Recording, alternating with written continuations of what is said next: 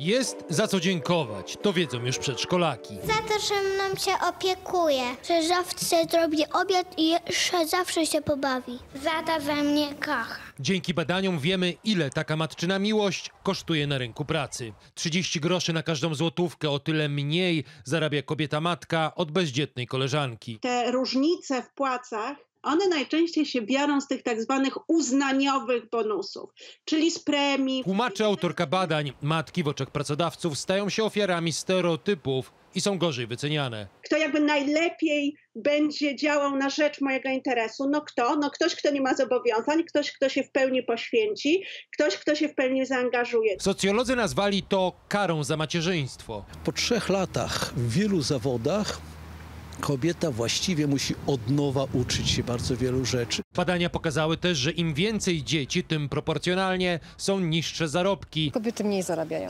Trudniej też wrócić do pracy, a potem awansować. Długa przerwa zdecydowanie działa na niekorzyść kobiety. Szybszy powrót do pracy byłby łatwiejszy, gdyby przybyło żłobków i przedszkoli. Mały był w kolejce sto któryś, tak, dlatego musiałam wziąć wychowawczy. Premier zapowiedział dziś rodzinny kapitał opiekuńczy. wracać do tej pracy czy nie, zatrudnić nianię, posłać dziecko do żłobka i chcemy pomóc na te pytania we właściwy sposób odpowiedzieć. Program zakłada m.in. 12 tysięcy złotych na drugie i kolejne dziecko, jeśli zostaną urodzone nie później niż 3 lata po poprzednim. Według Światowego Forum Ekonomicznego kraje Europy Wschodniej potrzebują 107 lat, by osiągnąć tak zwaną równość płci dotyczącą m.in. zarobków. Na razie zostają więc kwiaty Matka najlepsza kobieta na świecie. i śpiew.